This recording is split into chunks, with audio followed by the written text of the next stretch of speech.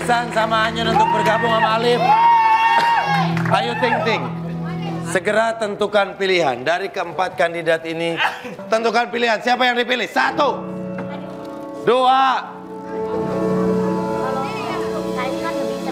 Waduh, Pak Denny. Mohon maaf, kayaknya semuanya gak ada yang saya pilih karena saya masih bingung harus pilih yang mana. Lo gak ada yang milih dari keempatnya, gue tahu. Karena masih ada dia di hati lo. Oh.